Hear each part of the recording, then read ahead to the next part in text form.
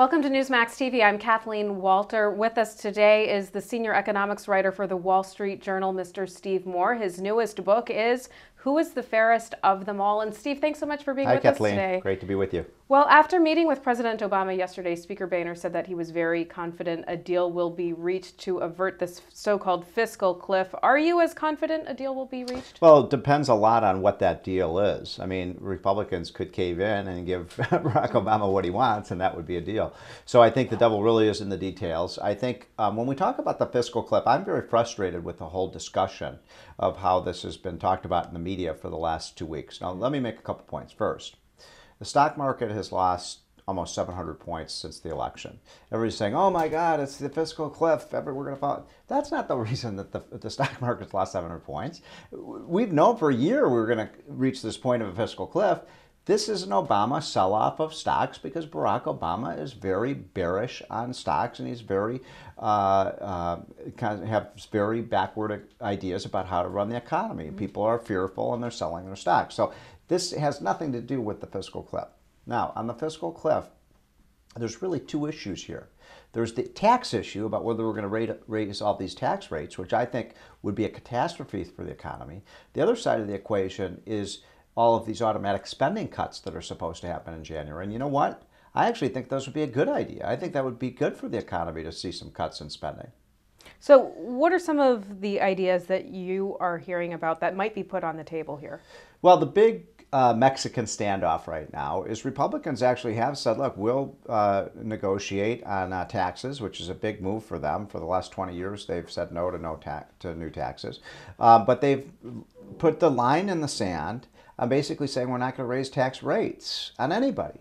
And that's exactly the right position. Um, raising tax rates right now, especially on investment, capital gains, dividends, small businesses, would be a catastrophe for the economy. I mean, this is an economy that's very fragile right now. The recovery seems like it's losing steam, it's not gaining steam. We got lousy jobs numbers uh, this week. This is not an economy that's healthy. I can't imagine a dumber idea than loading all these new taxes on investment. And by the way, business investment is the sort of seed cord that leads to a growing economy in the future. In the last nine months, business investment has been negative.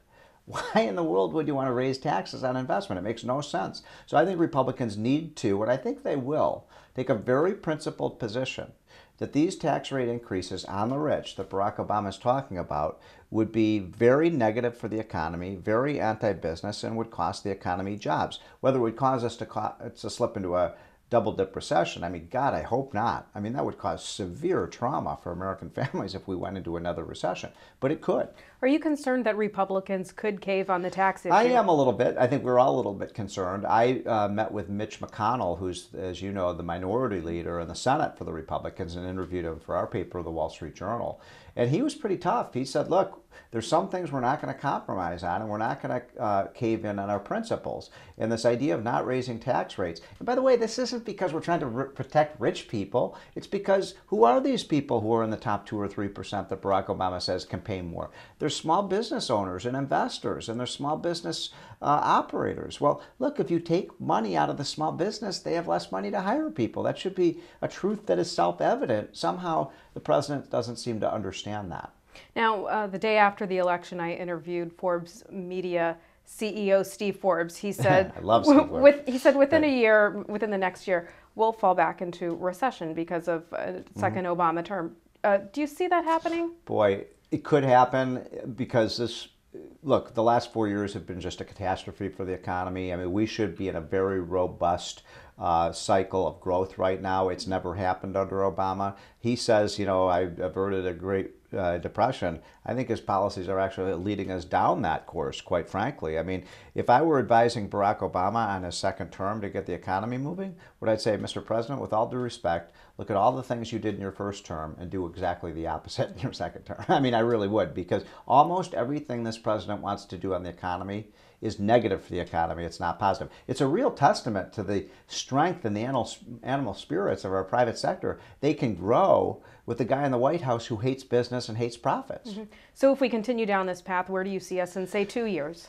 Well, you know, I'm an optimist. You know, I've always been an optimist, so I, would like to think we can we can uh, we can get through this. But I think Barack Obama uh, has to start understanding economic common sense. and he's the president, so he has an enormous impact uh, from a policy perspective. Um, it, but you know, look, if we did some right things, you know, the president did say, I want to reform the tax system.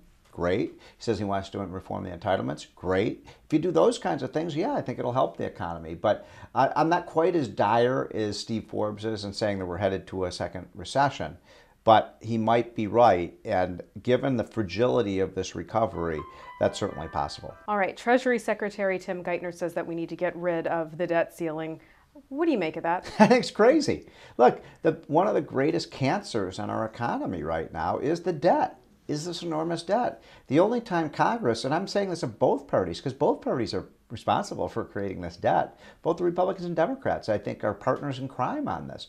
The only time we ever get serious about dealing with the debt is when there's a debt ceiling and we come across, you know, to that brink. And if that's what it takes to get the spending cuts necessary to uh, reduce this obese $4 trillion government, then I'm all for it. I mean, we've got to get serious. This is not a fire drill. This is the real thing. We have a $16 trillion national debt. If we stay on the course that Tim Geithner wants, we're going to borrow another trillion dollars year after year. There's a very famous moment um, about nine months ago where Tim Geithner went in front of the House Budget Committee and he said, I don't have any ideas for reducing the deficit. Well, what kind of leadership is that? Do you anticipate more rounds of quantitative easing within the next year or two? Well, most people probably don't even know what quantitative easing is, but uh, as you know, uh, quantitative easing is this very expansionary monetary policy that we've seen from the Federal Reserve uh, in the last five years. And Ben Bernanke has just been, we call him at the Wall Street Journal Helicopter Ben, because it's almost like what Ben Bernanke does is go, you know, in a helicopter over major cities and drop hundred dollar bills out the window. So this has been um, uh, an unprecedented experiment in very, very expansive monetary policy where they've just got the printing presses on overdrive. One of the things, by the way, that the Fed has been doing, which is dangerous, in my opinion, that Americans aren't paying close enough attention to, is the left hand of the government, the Treasury, is issuing all this debt, right?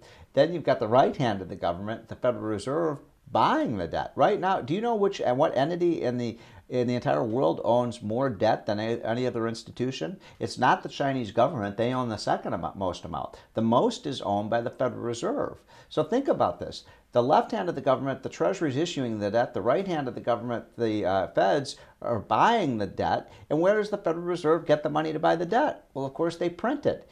That strategy that I just talked, just you know uh, outlined, that's what's uh, called the Argentina, Bolivia, Mexico model. I mean, that's what countries do. They monetize their debt when they get into trouble. Well, that hasn't worked out so well for those countries, and I very much worry that it's not going to work out so well for the United States if we continue to do it. President Obama, do you see him doing anything about entitlements?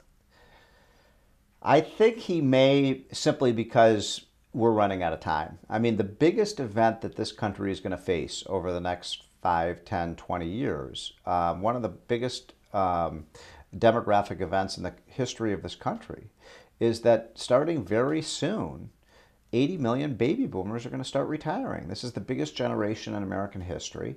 Uh, that means 80 million people who are now sort of in the peak of their earning years and paying taxes into the system. 10 years from now, most of them won't be paying into the system, they'll be collecting benefits. This is the Titanic headed to that iceberg, and we don't have a lot of time to waste. The window is closing on reform. I, I really shudder to think we're going to have to wait another four years before we deal with the crisis of Medicare, Medicaid, and Social Security. I'm tired of these Democrats saying Social Security is not a problem, it's paying for itself. No, Social Security is running a debt now, too.